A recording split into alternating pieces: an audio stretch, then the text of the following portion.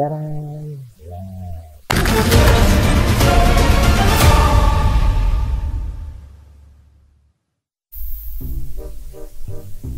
Alright, welcome na naman sa isang edition na Perfect Unboxing.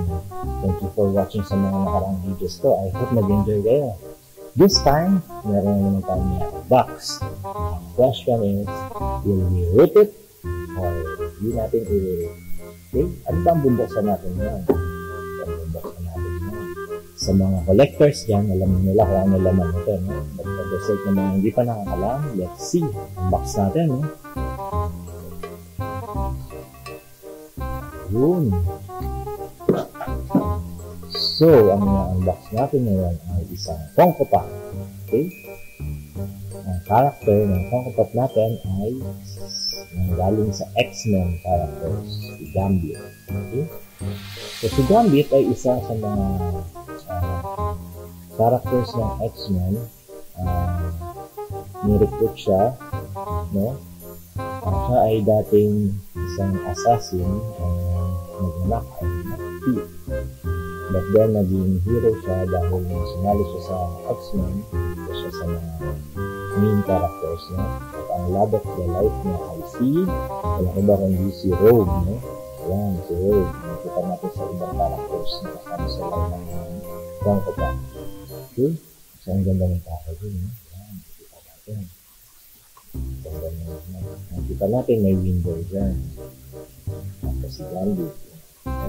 X-Men 553. So, pang 3 plus years old. Pwede tayo.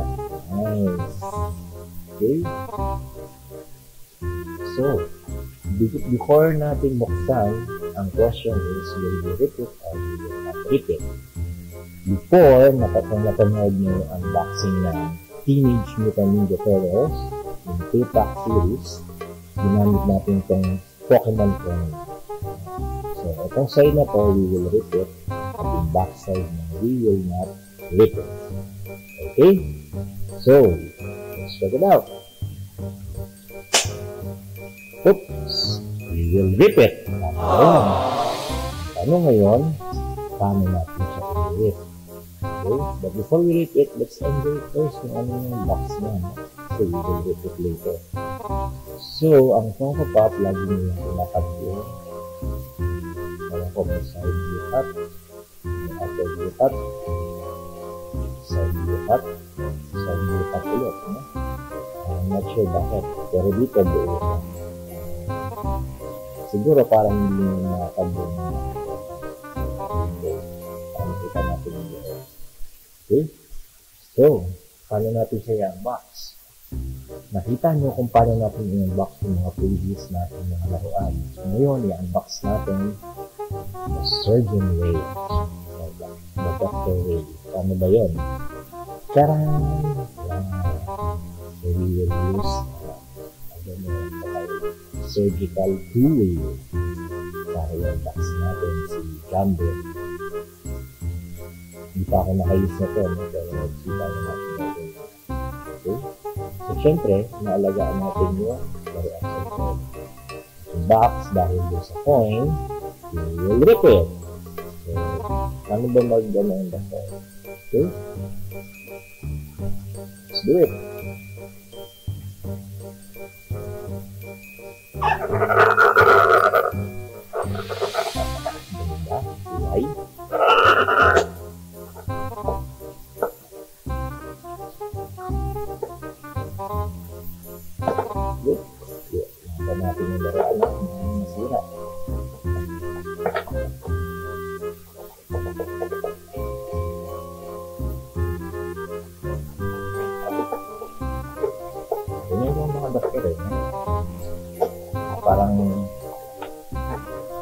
1 Februari.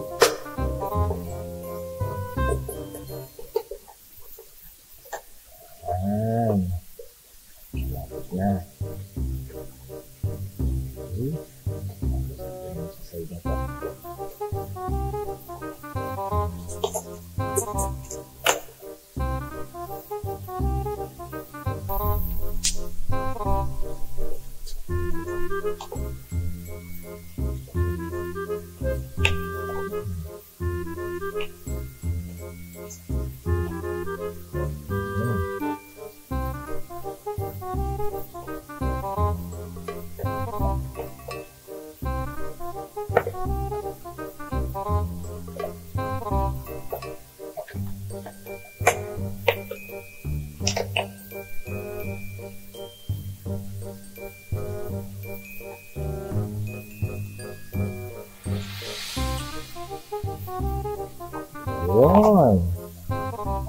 The surgical way of unboxing. Yan. Okay.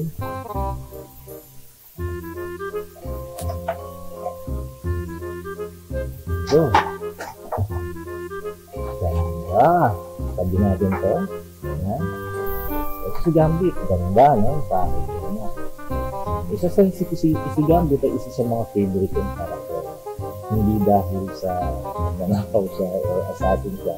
But because I like yung kanyang kanyang powers, no? Natatransform niya any objects into kinetic energy at pag tinapon niya ito, pag binapon niya ito, magiging parang bomba. So, unbox it!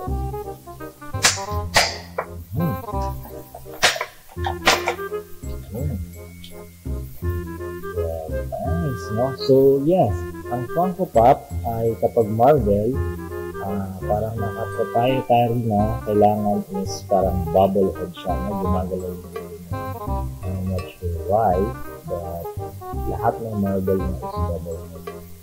So, I like yung design dito sa kanyang uh, cards, no? playing cards. Ngayon yung binabato niya parang nag So, translucent siya, may merong cards din na, then cards sa number.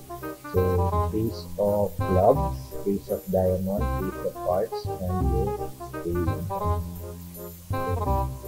Bubble head, syempre, dahil gumagalaw siya. Maganda yung pagka-asphalt ng kanya. So, kudos sa Tonto dahil gumaganda yung kanilang spout and nose. Red yung kanyang yes, ito yung red siya. Based sa comics, and sa cartoon. Tapos sa Tonto. Trench coat. Like yung pagka-mold ng sa kanya. Kasi bakal, steel talaga ito. Steel boots hanggang sa table. Na, mas binabato cards. So, merong uh, ibang version ng Funko Pop uh, earth. Ganito rin yung style o yung niya. Uh, na stickered. Tapos, isa naman is Spring Convention. Ang hawak na ganito kayo. Ganda, no? So, kung titignan nyo yung, yung, yung ibang Funko Pop, tulad na yung Snowball, hindi siya, hindi siya bubble head. Pero Marvel, bubble head. That's DC, hindi siya bubble head. Question is, nakatayo ba siya? Yes, nakatayo siya. Although hindi ganun ka-stable, pero ay, kailangan nila proper balance. Kasi medyo malaki. Mabigat yung head niya. Tignan natin yung sa loob. So, yun lang, no? Medyo kita yung. Sana yun lang kahit bumaba. Kasi pag sobrang baba, tatama yung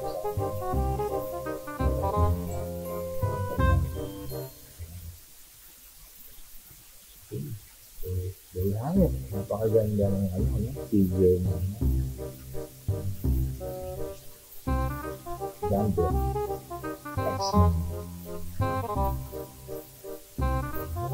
So, kung may mga request kayo kung paano mag-unbox at paano natin i-unbox yung mga susunod natin videos, so just comment lang kayo and let's see, no? tingnan natin kung paano natin gagawin yung unboxing natin.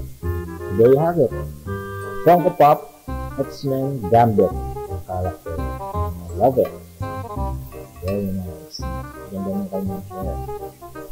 Thanks for watching. Hanggang sa ulitin.